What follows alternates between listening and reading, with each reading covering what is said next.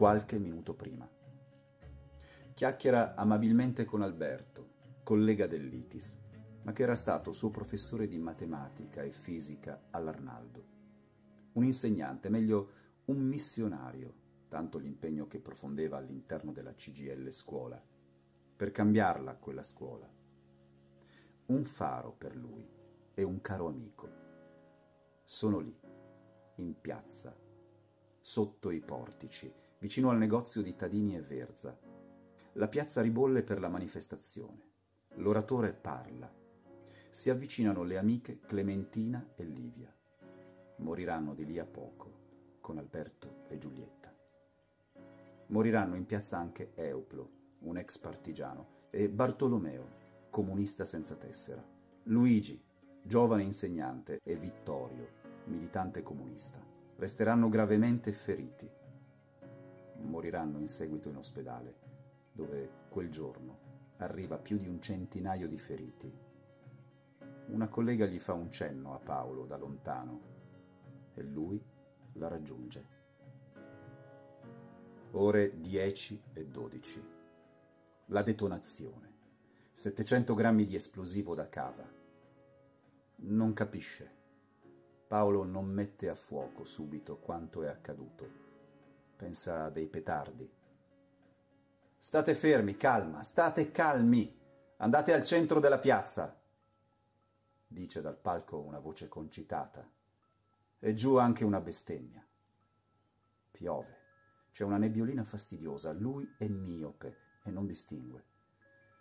Comprende la gravità di quanto è accaduto, dagli sguardi affranti, dalle urla, dai pianti di chi gli è intorno. Quello che ha visto quel giorno, però, riemerge come un incubo. Membra lacerate, corpi sanguinanti, carne bruciata. Il primo ricordo non è legato all'immediatezza dell'evento, come molti dei ricordi che ci addolorano. È successivo. Paolo si rivede nei pressi di una colonna, sotto i portici, abbracciato a Silvana, una conoscente. Piangono insieme, si abbracciano alla vita, si certificano a vicenda di essere sopravvissuti alla carneficina, lacrime per una vita sfuggita alla morte. Poi l'urlo delle sirene, il ritorno alla realtà, la visione raccapricciante di quei corpi feriti, offesi, devastati, la pietà per quei corpi straziati, senza vita, su cui si chinano dolenti, mariti, fratelli. Non sente paura Paolo, ma il bisogno di trovare un luogo sicuro, che faccia tacere quella sensazione di fragilità, di provvisorietà, di precarietà dell'esistenza che lo invade. Poi, immediatamente, lo sdegno che lo obbliga a restare in piazza, ad assistere al seguito, le sirene, le autolettighe, gli infermieri, le barelle, segni vivi ancora nella memoria di Paolo Corsini, insieme all'arrivo degli idranti e al lavaggio della piazza. Un obbrobrio che fin da subito lo stupisce e lo preoccupa.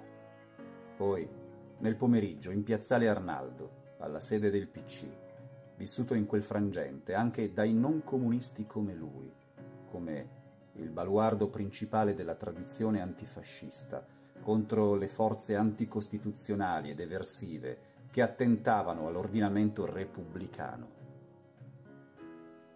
Nei giorni immediatamente successivi, la città appare sotto il controllo del servizio d'ordine delle organizzazioni sindacali. C'è un enorme dispiegamento di militanti, a garanzia dell'ordine pubblico, e una interminabile fila di cittadini che accorrono al palazzo della loggia, dove sono state composte le salme.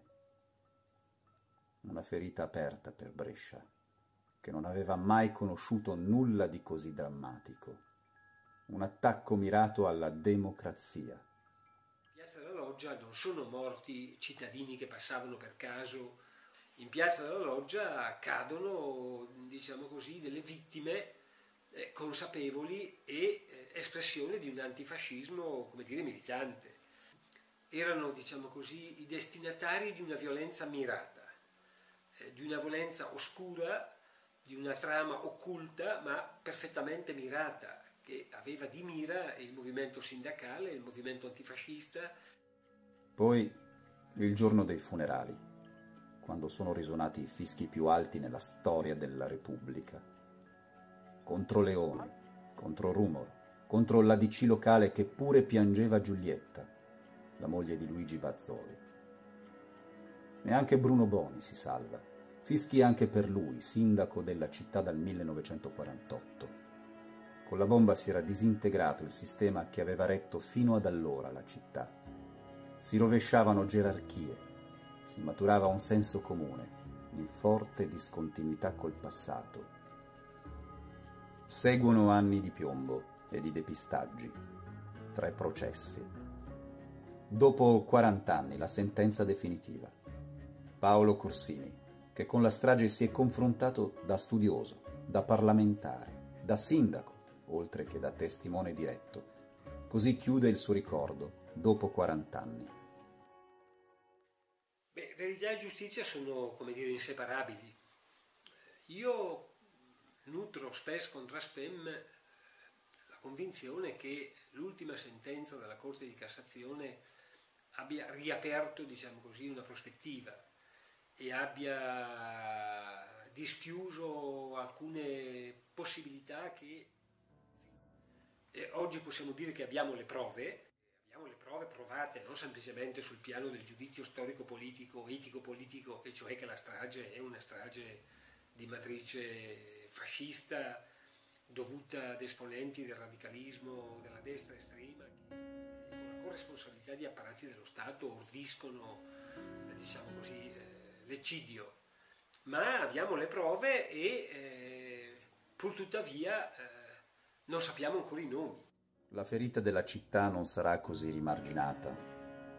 Il dolore non sarà così riparato, consolato. Ma, nella verità, almeno quei morti possano riposare in pace.